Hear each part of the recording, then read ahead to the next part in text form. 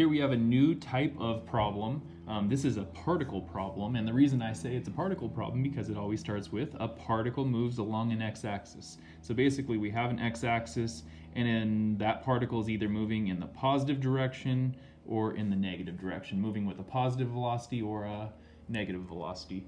Um, I could definitely see this kind of problem being on the test. They typically are. Um, I also want to mention that this problem specifically probably won't be there because I'm guessing that you're going to have a no calculator question and this one requires a calculator.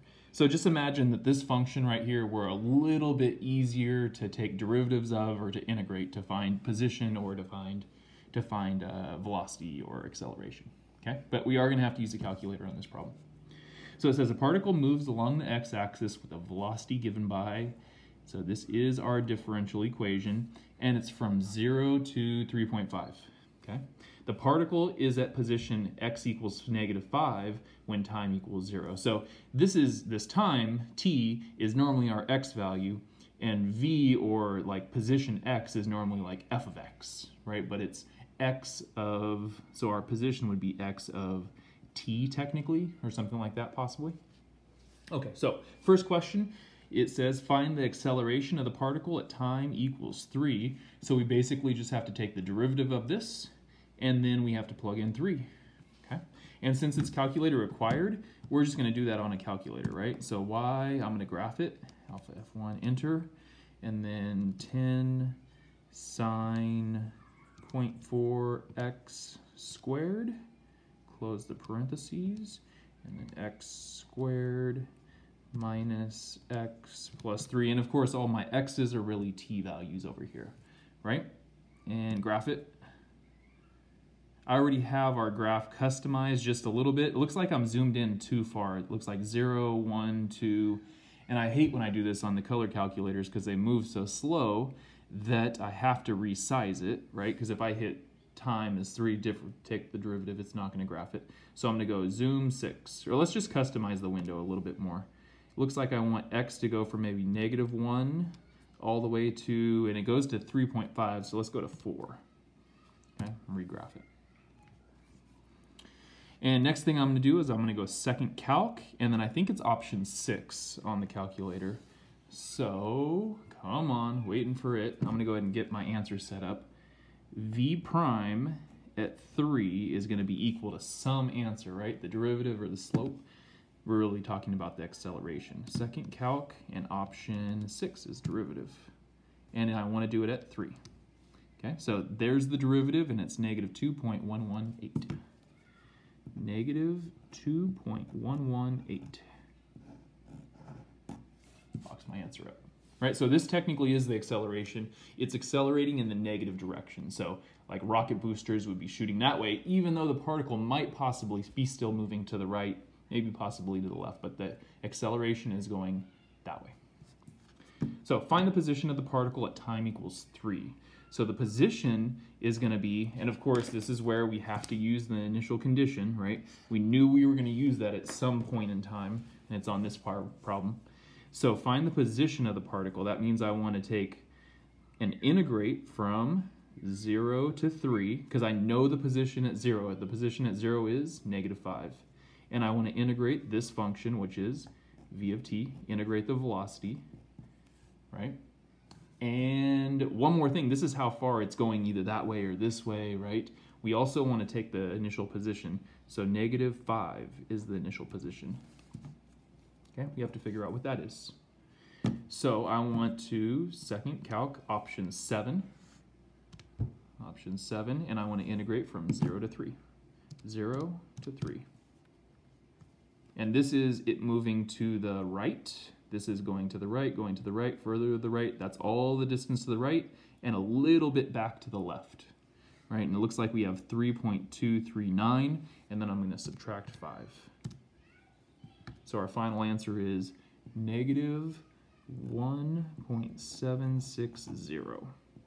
And I would put units in there, but they never gave me units in the first place, like meters or feet, but that's the location, like on the number line, basically. It's a little bit to the left, 1.76 units to the left of zero. Definitely write this down. This is gonna be worth a point. That's going to be worth a point, but obviously you would have to actually integrate this if it was no calculator. Okay, next one. So it says evaluate from 0 to 3.5 the function. Okay, I could do that on a calculator. And then also evaluate the absolute value of the function. Interpret the meaning of each in the context of the problem. Okay, I'm a little annoyed about that question just because I'm going to have to maybe try to figure out how to go absolute value without retyping it. But I can do the first part, which is evaluate this thing. Second calc, option 7. And then from 0 to 3.5. Okay, and it's going to give me my answer in just a second here. It's shading blue over the blue that's already there. It should go just a little bit further. 3.5 is right about here. So the answer is, this one equals 2.843. And what does that represent? This represents um, whatever the original position was. So from position at time equals zero, it is the distance away from, away, at 3.5. Okay, at time 3.5. Let me at t equals 3.5. So I didn't say that very elegantly. Um, I'm not really worried about that. Basically, it's how far away from whatever the original position was. In this case, it was negative 5. But whatever the original position was at 0, it's how far away it is now at the time 3.5. Okay, and so for the next one, the next one is, uh, first let's try to go after the answer. Can I go absolute value around this whole thing? Hopefully so. Let's go alpha F2, absolute value, and that thing's not typed in there, unfortunately. So let me go ahead and retype it. Um, do I want to retype it? I might have to use it on the next one. I think I'm going to go ahead and delete that. I'm going to go second quit. I'm just going to do it manually here. Alpha F1. Um, and I want to integrate, so that's going to be this one. I want to integrate from 0 to 3.5. I'm just doing it manually because I don't want to mess up my graph. I have to type it in anyways. Absolute value is right there, alpha f2. And then I have to type that fraction in. It's alpha f1. It's like all these shortcuts, right? So I have 10 sine 0.4 x to the second. Close it. And then x squared minus x plus 3 and dx. All right, so hopefully I typed that all incorrectly. I am in radians. I did check that before I started on the problem. And final answer here is going to be equals, equals, calculator's thinking, 3.737. I'm going to box this answer up, I'm to box that answer up. And I would put units if they gave me units. Okay, so what does this actually represent? This represents, this represents the total distance traveled.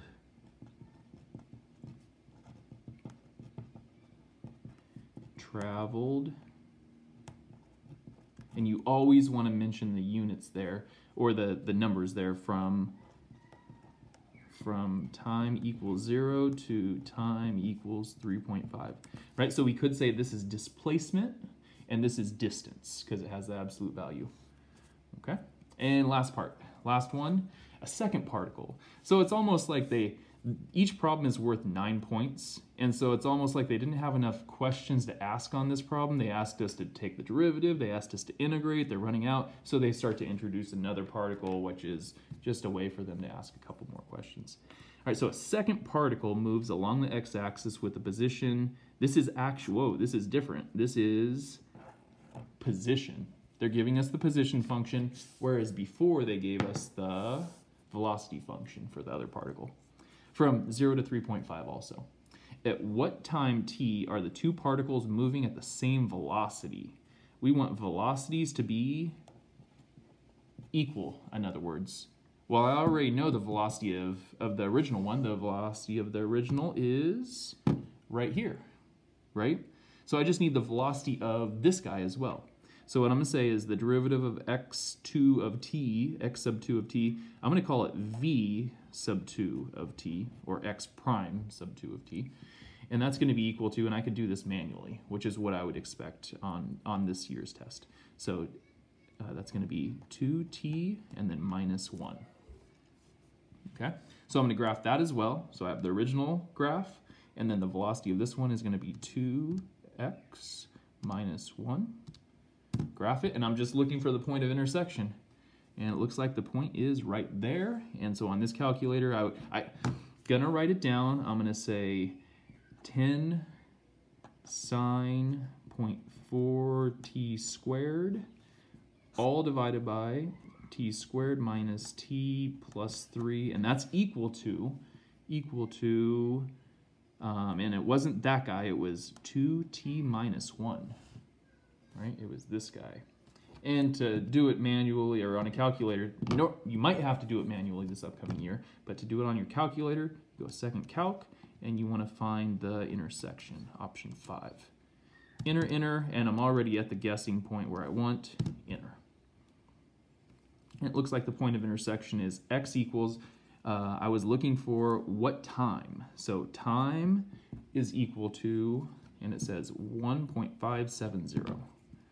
1.570. You always want to go to three decimal places, box up answers. You could round appropriately or you could just cut it off, okay?